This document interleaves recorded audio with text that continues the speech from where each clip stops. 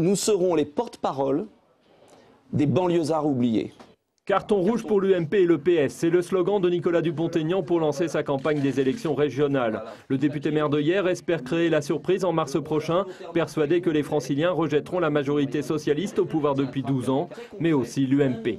Ça veut dire que les gens n'ont pas envie de donner la région Île-de-France au clan Balkany, Sarkozy, euh, la Défense, Neuilly. Euh, ils ont envie d'avoir des gens euh, peut-être un peu plus différents. Nicolas Dupont-Aignan a aussi dénoncé le coût, selon lui, exorbitant du futur grand métro autour de Paris. Parce que le Grand Paris, c'est 25 milliards d'euros pour finalement relier la défense à Roissy pour les hommes d'affaires. Au printemps prochain, le candidat de Debout la République croit pouvoir se maintenir au second tour. Pour cela, il lui faudra au moins 10% des voix.